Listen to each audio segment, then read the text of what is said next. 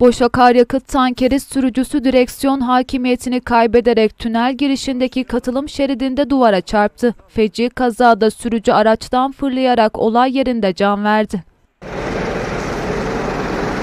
Bayburt'tan Trabzon istikametine ilerleyen ve Gümüşhane çevre yolu tünellerini kullanan 47 yaşındaki Nedim Köse idaresindeki boş akaryakıt tankeri T4 tüneli girişindeki katılım şeridinde duvara çarptı.